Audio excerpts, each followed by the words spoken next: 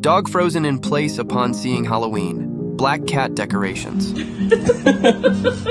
a dog in Ingleside, Texas, experienced a comical moment that left his owners in stitches when he discovered himself encircled by black cat Halloween decorations. Lily Flores captured the peculiar incident on video, showcasing Maverick, a Labrador, at a loss for where to go as he faced off against the eerie feline figures. Notably, not even the dog's tail twitched in the slightest. Come on.